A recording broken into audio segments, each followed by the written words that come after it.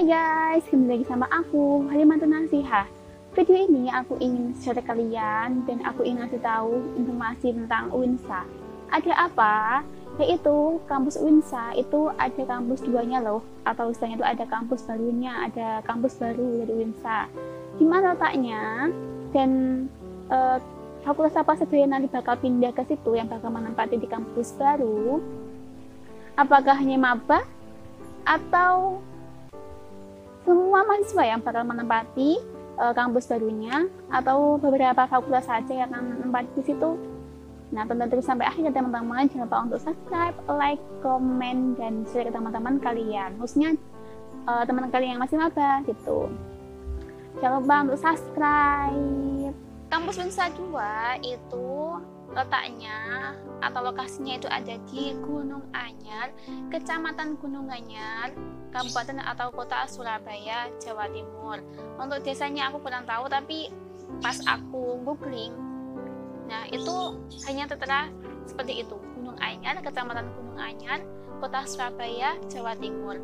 Nah, tapi dari info-info dari, dari temanku dan dari beberapa dosen yang mengatakan bahwa kampus Unsa 2 itu letaknya dekat dengan Bandara Surabaya. Bandara Juanda kalau nggak salah ya teman-teman. Bandara Juanda sama dekat sama kampus apa ya lupa. Pokoknya dekat sama kampus daerah uh, Bandara Juanda itu. Nah aku dulu tuh sempat uh, nyoba-nyoba kayak berapa menit lah antara kampus Winsa satu yang kampus Winsa yang itu di Jalan Ahmad Yani sama di uh, kampus 2 itu jaraknya aku pernah ngecek itu di 23 menit perjalanannya. Hampir setengah jam. Kalau nggak macet ya kalau macetnya mungkin sampai 40 menitan gitu. Terus kampus Winsa 2 ini sebenarnya dibangun itu udah lama banget.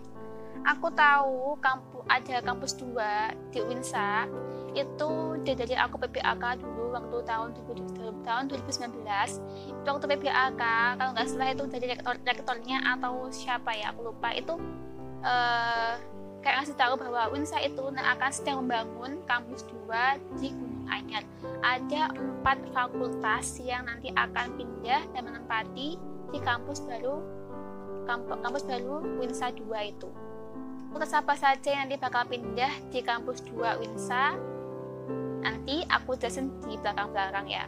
Nah, kampus Winsa, kampus 2 Winsa ini itu dibangun di atas lahan selebar atau seluas 11 hektar. Nah, untuk sekarang itu sudah hampir selesai sudah hampir selesai teman-teman pembangunannya tinggal uh, pembangunan pembangunan apa ya gedung gedung apa ya gedung apa namanya gedung kayak kantin perpustakaan itu tapi untuk fakultasnya itu semuanya sudah selesai sudah finish gitu. Dan pada uh, awal-awal bulan lalu awal bulan tahun ini itu UNSA sudah mempersiapkan uh, yang kayak mempersiapkan tempat-tempat fasilitas untuk mengisi ruangan kelas-kelas gitu. Setelah aku menggoogle, mencari berita, mencari informasi bahwa di websitenya edukasi pers sama di edu sama di websitenya Kemenak RI, Kemenak Agama RI atau Itjen Kemenagku IT itu keduanya tuh intinya sama menjelaskan bahwa UNSA itu sudah siap kampus UNSA 2 yang di, yang ada di Gunung Anyar itu sudah siap untuk di ditempati sama mahasiswa mahasiswa UNSA. Nah kalau kalau seumpama tahun ini jadi luring yaitu bulan Sep eh bulan apa November ya kalau nggak salah bakal luring.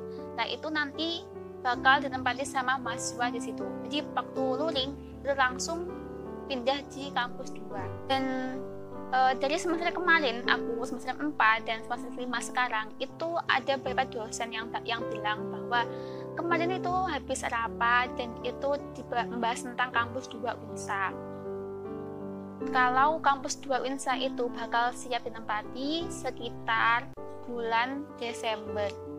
Nah, kemarin kan Winsa baru uh, ngumumin ya, kayak membuat pernyataan bahwa kira-kira kalau nggak salah nantinya bakal luring itu di bulan November. Berarti kan sudah ada tahap uh, tahap bahwa bakal pasti nanti akan pindah di kampus 2 Unsa gitu.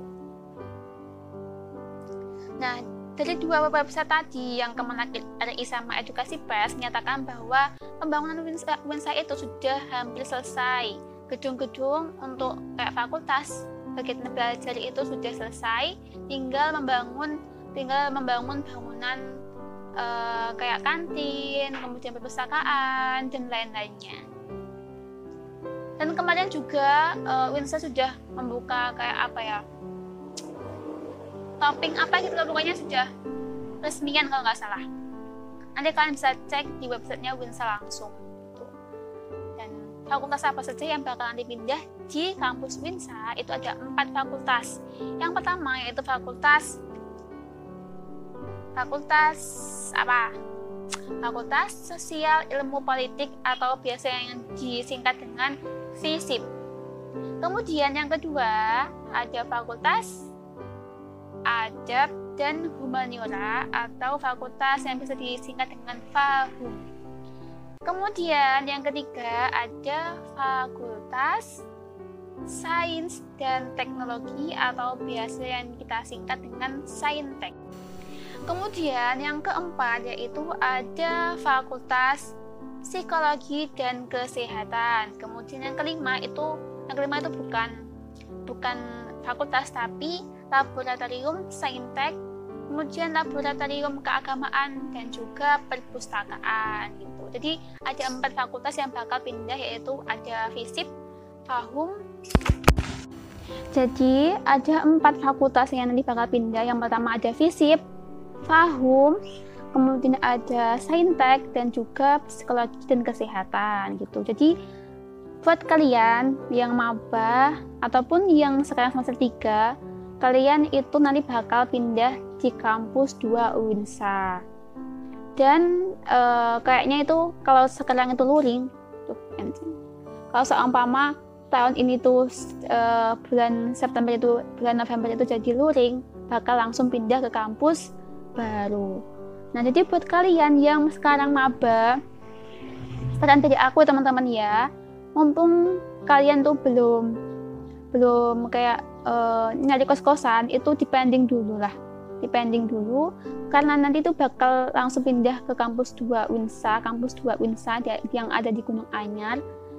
Jadi uh, itu ditunda dulu untuk mencari kos-kosan atau pondok yang ada di kampus 1 karena nanti kamu tuh bakal pindah di kampus 2 jadi kayak eman gitu loh. Udah udah bayar kos-kosan selama enam bulan.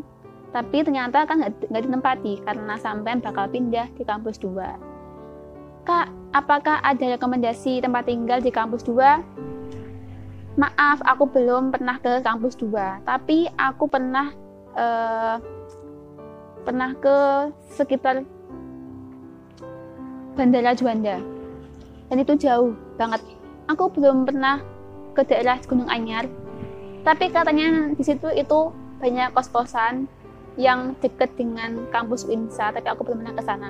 Teman-temanku juga belum ada yang pernah ke sana. Teman-temanku juga belum ada yang pernah ke sana, jadi aku belum bisa ngasih informasi lebih lanjut lagi tentang tempat tinggal yang ada di sana. Tapi aku khususnya buat aku sendiri itu kayaknya aku nggak bakal pindah, jadi aku tetap di pondokku yang lama, bakal tetap di situ, stay di situ, insya Allah. Nanti kalau sama mama aku sudah uh, kayak satu minggu atau dua minggu kuliah di kampus Bab Insa, nanti aku sama sambil lihat-lihat apakah ada pondok yang menurutku sesuai dengan aku gitu, pondok yang dari dari uh, mas dari dosennya gitu, nanti aku bakal pindah.